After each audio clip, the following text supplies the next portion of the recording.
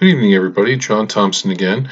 Uh, this is basically going to be uh, the next uh, video on my World War II conversion of the uh, USS Arizona to the USS Pennsylvania. So uh, I got a lot done today. I got a new superstructure. Uh, the forward part arrived today. Ironically, from Shapeways, I was expecting it to be in one uh, in in several pieces actually to put the tripod mast together separately. It's all one piece uh, when it's done. It went together very nicely when I installed it. However, uh, painting it was a bit of a challenge. I recommend that you paint the superstructure before installing it. Um, there's a lot of area, had a lot of surface area, and some spots were pretty hard to get to. So th- that's what I would recommend uh, with with that part of the model. Other than that, it looks great. It detailed nicely. Uh, definitely dress up the model. Um, I have a lot more to show you today. As a matter of fact, I have the model. I'm going to show you what I did today.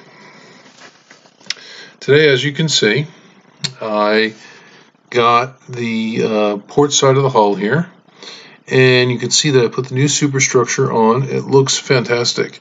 Uh, I did have a problem though. Uh, Gold medal models, their halyard booms, which is what I expected would be a problem. Uh, the metal is very flimsy and very thin, and unfortunately, it's not forgiving if you fold the uh, flag booms the wrong way. Luckily for me, I had the tom set that was attached to the old superstructure, so with a little bit of uh, effort, I was able to get it off, and I relocated it and reused those parts again on my tripod, so they look great. So that's that's a big improvement there. Uh, the other thing I added was uh, I wanted to basically go through and put my um, anti-aircraft guns on. Uh, I wound up ripping off the ones I scratch built. Uh, they looked kind of crude, and I wasn't overly happy with the appearance. Uh, what I did was I took the trumpeter ones and so now I got about uh, three anti-aircraft guns left. Uh, I'm going to probably wind up replacing the ones on the stern because uh, they were photo etch uh, with with these. So this way it looks more uniform. Uh, although I do have a couple more tubs I have to make, so that's something that I have to do in the future.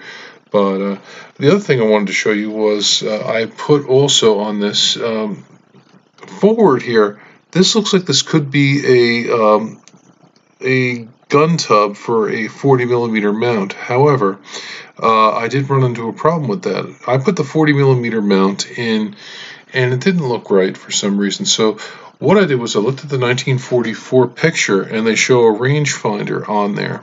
Now the other thing I did was I went to the, the port side, just like I did yesterday. I was telling you about. Uh, plating over the portholes and making the hull look a lot better. It does change the model. I started to add some raft detail here.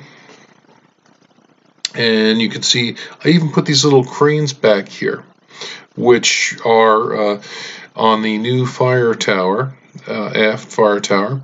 And you can see got the funnel on and the, the brand new superstructure. Shapeways uh, will again uh, get you the superstructure, but it's in one piece. Uh, the 1938 version of the Arizona that I did using the 1935 superstructure, it was actually in several pieces, uh, which was great. It made painting nice to do uh, and also photo etch detailing. When Shapeways sent me the superstructure for the World War II version, it was all one piece molded, so it was all done.